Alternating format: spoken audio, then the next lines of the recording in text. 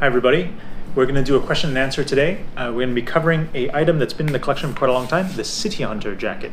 So, what is the City Hunter jacket? It is somewhere between a sweater and a tailored jacket. You know, you can wear it casually, you can wear it smart casual. Um, the origins of this jacket are the um, it came from the Spanish teba, uh, which was a jacket created by this gentleman named the Count of Teba uh, in the middle of last century, and uh, he was actually inspired by an old English hunting jacket himself. So basically, we now have a jacket that's been inspired by a long line of country garments, and given that we were in Hong Kong, we decided to make a city version of it. So, what are the special features of the City Hunter? Well, firstly, we typically do it in wool jersey. Uh, so the garment is made in Japan, the fabric is made in Japan, and we have found this great wool jersey that's very comfortable to wear, hence the sweater association. Uh, we do what's called a TPS seam for the construction of a lot of the seams. So this is a TPS seam, and some might even call it a seamless style of construction.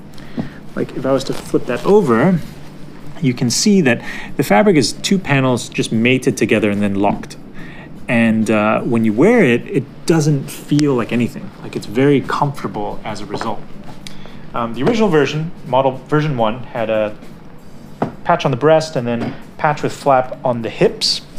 And then after we did this one, we came up with this, the City Hunter version two. So now I'm going to show you kind of how it fits. Uh, we recommend, we think it fits true to size. Like this is how we expect it to fit. Um, I wear a size 48 jacket and this is a size 48 City Hunter. It is meant to be quite loose. Like we like it to be very slouchy like this. And you know, given that a lot of people are working from home right now, um, I think this is a really good garment to be wearing in that in this situation. You know, like it's comfortable, it's smart enough that you could wear it on a Zoom call or a conference call, but it's also fine just to be in it all day long. What are the features of this? So uh, we did just open patches on the hip, and we actually added an additional nested one right there. So the idea was actually that you could put a large cell phone in there, or, and to make the City Hunter more city, we did this, which is a narrow, tall pocket with a buttonable flap. And this is actually exactly the size for um, the kind of standard size iPhones, not the larger ones, or like a Google Pixel or a Samsung Galaxy Note, something like that. And you know, with a button, you can secure it and you won't worry about it slipping out. Okay, so that's City Hunter 2. We have been doing special versions of these for our friends, and this is one of the most exciting ones we've done recently. So this is the Phillips Perpetual Jacket.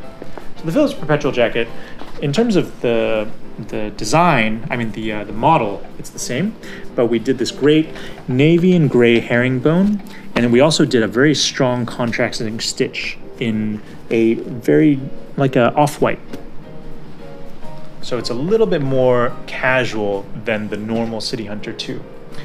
And you know, one what's lovely about this is uh, Phillips very kindly decided to donate all proceeds of the jacket to charity. So it's all going to the World Health Organization's COVID fund.